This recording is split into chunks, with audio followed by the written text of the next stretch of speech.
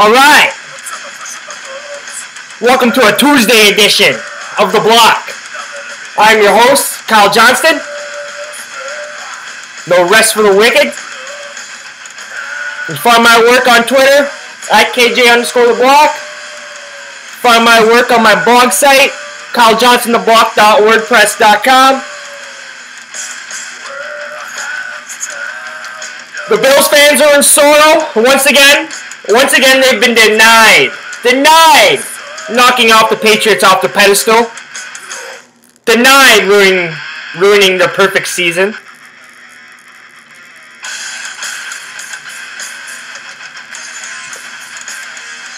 I didn't get any uh, wagers in on the Monday Nighter. Actually, I was on the uh, college hardcourt. It was a good night of action last night. What? I think I gave six, seven picks on the board last night, and I think we're went five to six or six to seven.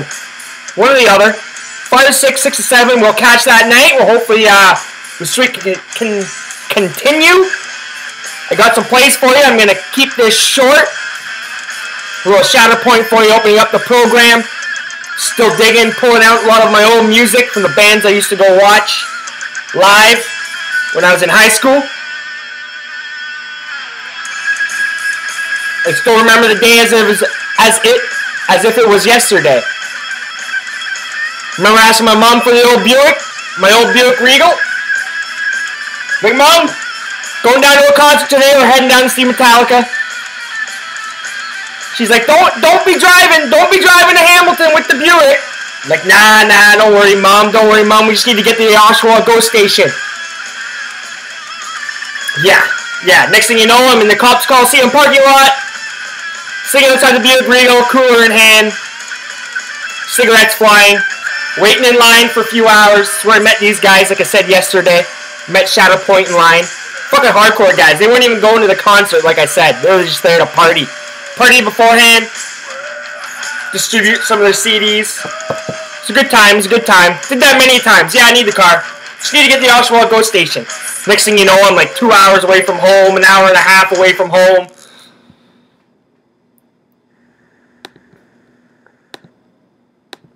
It's just what I did. It's what I did. So the Monday Nighter last night. Fuck for your Bills fan. Fuck. Because of the Bills' sorrow, because of the Bills' ineptness, fuck, I became a Tennessee Titans fan. Basically basically, I became a Titan, Tennessee Titans fan because the miracle of Music City. I was fucking just happened to be watching that game. I was young. Bam! Just everything just seemed to fucking click. One after fucking another. Eddie George, Aaron McNair. I remember growing up. I remember I was young. I remember being young. My dad had a whole bunch of people over for one of the Bills Super Bowl games, actually. Didn't really understand what it meant, but I remember they were all watching. I do remember the ending, though. Do remember the ending. And there was always just disappointment. Complete fucking disappointment from Bills fans. Anger, sorrow, hatred. But yet, they get on the bicycle and they do it all over again. Every week. But the Patriots didn't even have to steal their fucking playbook. Didn't have to film them. Didn't have to do nothing. Run, run, pass. Run, run, pass. Run, run, pass. That's all the Bills did. Like, I could have fucking figured it out. And they ain't no NFL coach. Run, run, pass. Run, run, pass.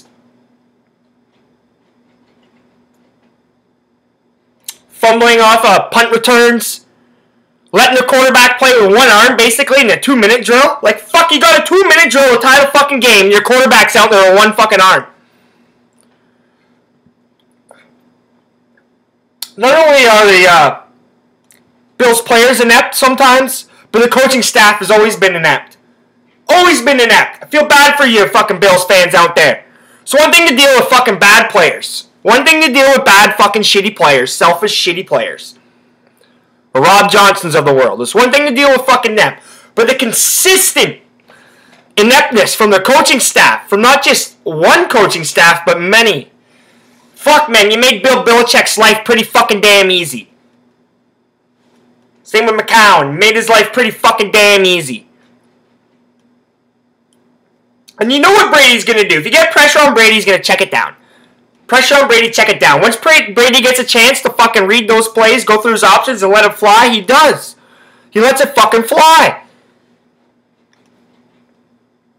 Now, I didn't mind it as a fantasy uh, standpoint. I needed Gronk to have a uh, pretty shitty fucking day, and he did. I had like a 28 point lead, you know, going in. But you never know with fucking Gronk. Five, six receptions, 100 plus yards, couple TDs. Your fucking 28 point lead fucking disappears pretty fuck quick.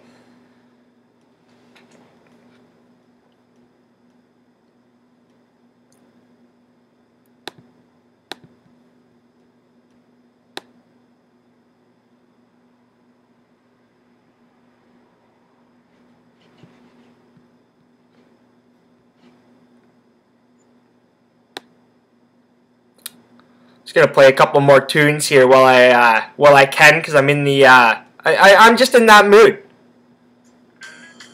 Just in that mood.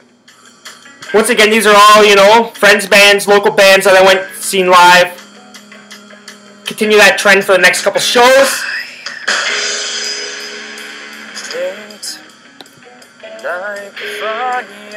Let's get on to my sports picks, so everybody can move on with the day. Just like I gotta move on with my day. I got work to do. Got work to do. Sorry about the lighting shit too, right? Try to use as much natural light as possible. Got a little bit of Champions League action going on as well.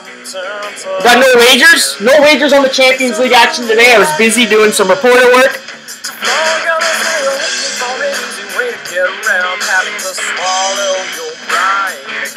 I just fucking hate the darkness. Hate the darkness, you know? You know, I want you to see these eyeballs of mine. I want you to see these eyeballs. Chelsea's up 3 0 over Maccabi Tel Aviv. We're taking a vacation in Israel. Big game against the Hotspur on the weekend, Chelsea.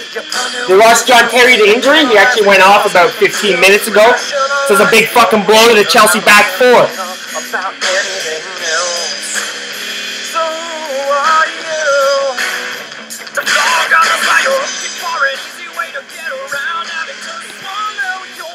Arsenal is also up. Up on Din Dinamo. Dinamo. Croatian squad. They actually suffered a defeat to Dinamo. In Dinamo, what, few uh, Champions League match days ago? Was that Champions League match day three? Two? Wouldn't have been three because you got to play back to back. So two, match day two. Pretty sure they lost to them. This is so fucking typical Arsenal. Typical Arsenal.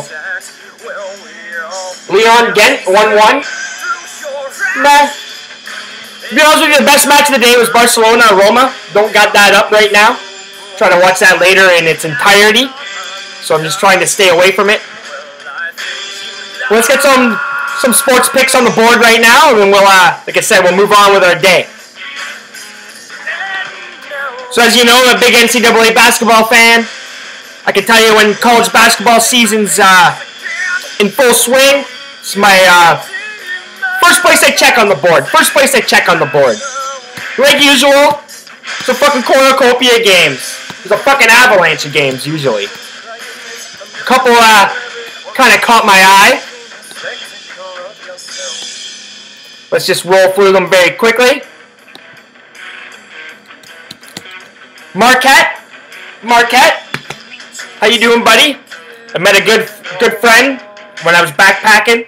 He's uh, from Mexico, but he was going to school in Marquette. Fucking good guy, good guy.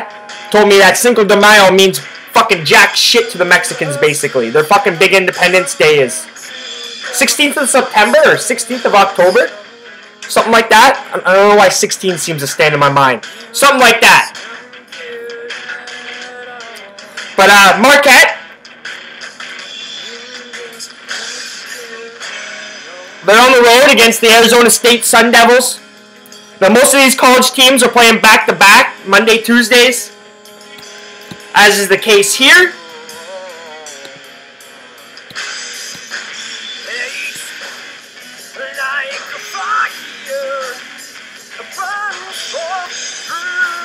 Arizona State three and a half point favorites. Over under in this game is 149 and a half.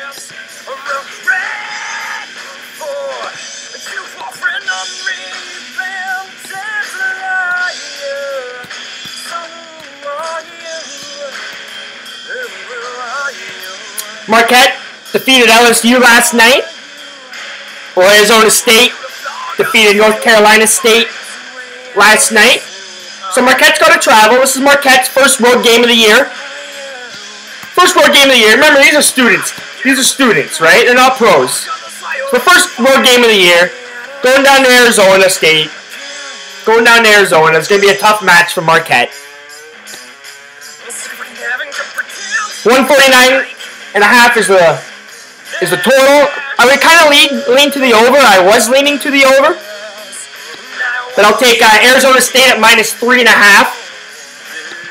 And to be perfectly honest with you, in fact, I also got the over 149 and a half confirmed and booked as well. So like Arizona State minus three and a half over Marquette, and I like the total to go over 149 and a half. Both teams, you know, putting up about 80 points a game. They got a soft defense. The Big East is usually overrated. And speaking of North Carolina State Wolfpack, the Wolfpack are hosting the LSU Tigers. North Carolina State minus one point favorites. Basically a pick 'em. Basically a pick 'em. Over under in this game is 151 and a half.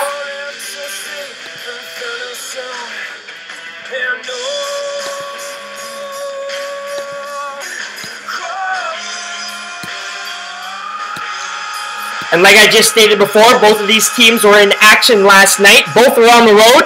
Both were on the road. So I'll take the home team. I'll take North Carolina State at minus one. Think they're going to be able to put some points up on the board. I don't think LSU's offense is going to be able to hang with the Wolfpack's offense. So, you know, a big test for the LSU Tigers. This is a big test. Marquette in the Big East is one thing, but North Carolina State, the ACC, is a whole different monster. So I'll take North Carolina State minus one over the LSU Tigers.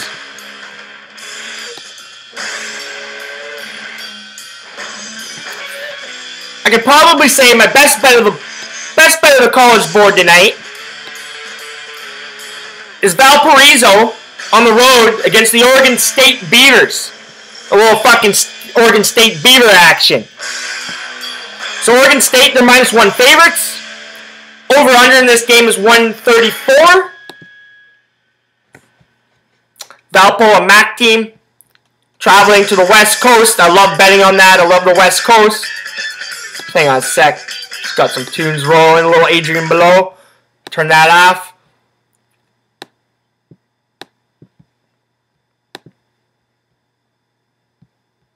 Let me just pull up pull up some stats here.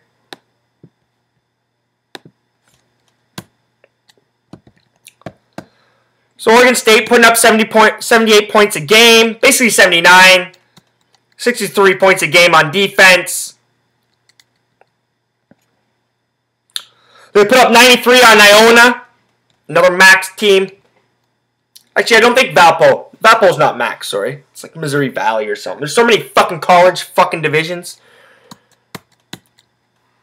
But Oregon State's been on the road for the last two matches. They get back home for this game. They beat Rice. They beat Santa Barbara. Valpo's been up in Oregon. They lost to uh, the Ducks. They lost to the Ducks on Sunday, so I, I'm assuming that they're just going to stay up there, chill up there. But still a long time being away from home. Remember, these are kids, the students. So I'll take the West Coast team hosting the East Coast team. I'll take the Oregon State Beavers at minus one. Continue the hardcore action, but we'll move to the professionals. One game really just caught my eye. A couple other games caught my eye, but I, I wasn't confident. And scared money never wins. Scared money never wins.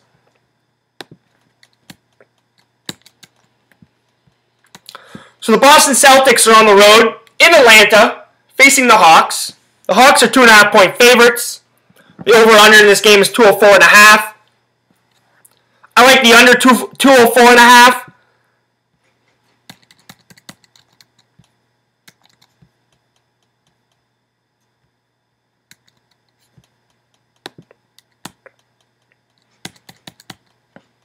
The under is cashed in five of Boston's last six road games.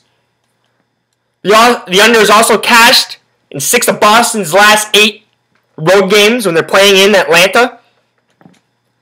The under is also cashed in Atlanta and uh, four of Atlanta's last six games as well. And the total has gone under in eight of Atlanta's last 12 games at home. So I like the under. I like these trends that continue. 204 and a half is a little bit too much for these two squads. Boston was in Brooklyn on Sunday, so they continue their road trip. Atlanta took a loss to Cleveland on Saturday, so looking to rebound. Atlanta, Atlanta relies a lot on the three ball. So when the three ball's not working, you can look at the under. So I like the under 204 in the Boston Celtics Atlanta Hawks game. Let's take a look at the Frozen Pond. Not a whole lot of games tonight. Two games tonight on the Frozen Pond. So basically what I'm going to do is I'm going to take the two favorites. And to parlay them up. The Dallas Stars are at home against the Ottawa Senators. Dallas Stars are minus 175 favorites over under five and a half pucks. Ottawa's one and six, straight up in the last seven on the road against Dallas. Dallas is six and one straight up in the last seven home games. So I like these trends to continue. like these trends to continue. Ottawa's coming off back-to-back shutouts. That's not going to continue. I can tell you that much. Ottawa will not shut out the Dallas Stars three games in a row. So I like the Dallas Stars to put some goals in the net. So I'll take the Dallas Stars at minus 175. And I'm going to parlay them up with the Anaheim Ducks. They're hosting the Calgary Flames. The Ducks are minus 150 favorites, over under 5 pucks. I like the Ducks. So I'll take the uh, Dallas Stars minus 175, parlay them up with the Anaheim Ducks at minus 150. It's like a plus 160 parlay. I'll take my shot with the home teams. I'll take my shot with the home teams. Calgary's 0-5 in the last five games on the road against Anaheim. Calgary's also 3 and 13 straight up in the last 16 on the road. So uh, Anaheim's won the last two games. I look for them to uh, spin three on the trot. So like I said, I'll take the Dallas Stars and parlay them up with the Anaheim Ducks.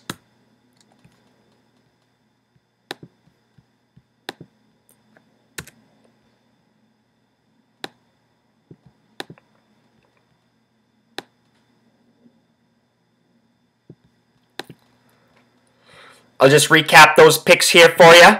I'll recap those picks. Got a little bit of music information, a little music news to end the segment. So, let's just whip through these picks again. NC State Wolfpack are hosting the LSU Tigers. NC State's minus one favorites over under 151 and a half. I'll take the NC State Wolfpack at minus one. Marquette Golden Eagles. They're on the road against the Arizona State Sun Devils. Arizona State's three and a half point favorites. Over under is 149 and a half. I will take Arizona State at minus three and a half, and I'll also ride the over at 149 and a half. think this will be my best bet of the night. The Oregon State Beavers are hosting Valparaiso, Valpo. Oregon State's minus one point favorites. Over unders 134. I'll take the Oregon State Beavers at minus one. In the, in the professional league on the hard court, the Boston Celtics are on the road in Atlanta. The Hawks are minus two and a half point favorites. Over unders 204 and a half. I'll take the under 204 and a half. And as I just stated, I'll take the Dallas Stars at minus 175 over the Ottawa Senators. And I'll parlay them up with the Anaheim Ducks at minus 150 over the Calgary Flames.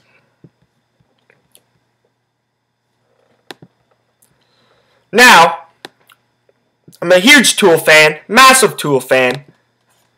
And uh, Tool basically just announced uh, a new U.S. tour. I'm going to get on there, get some details, find out when tickets are for sale, find out if they're coming to Toronto, if it's just in the States. Hopefully they're coming to the Buffalo, Rochester area, and I'll get down there.